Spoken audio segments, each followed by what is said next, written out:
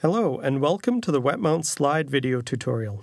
This video will go through the basics of making a wet mount slide using the prokaryotic alga Anabaena. All of the materials we use here will be available in your lab room. Your TA will indicate their location during your lab, which is typically next to one of the sinks. First, obtain a clean microscope slide. Place the slide on a flat surface. Use the plastic pipette to obtain Anabaena. You will only need a few drops, so don't fill the pipette. You may have to shake the tube of Anabaena if you notice that they have settled to the bottom of the tube.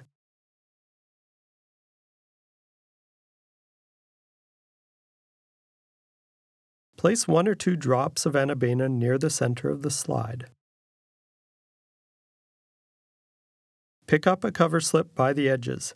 Handle these carefully, they are made of thin glass and break easily.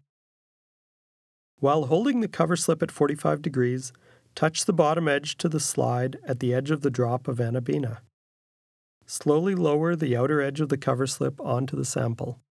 If you need to, use a dissection needle to lower the cover slip edge. If you have lowered the cover slip properly, there should be no visible air bubbles in your prep. If there are many large air bubbles, you will need to try again.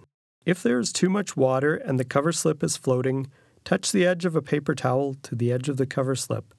This will absorb excess water. When you look at this slide on your compound microscope, remember the basic steps. Start on low power, find something to focus on, even if it is just the edge of the cover slip, and close down the iris diaphragm. Once finished with your slide, rotate to the 4 power objective and pick up your slide.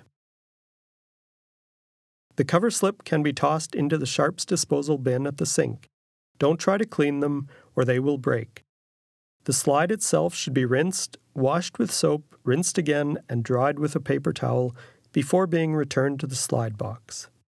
This is the basic procedure to making a wet mount slide and a look at our bacterial friend Anabaena, in the following videos, we will discuss the procedure for other preparations that all follow the basic wet mount procedure.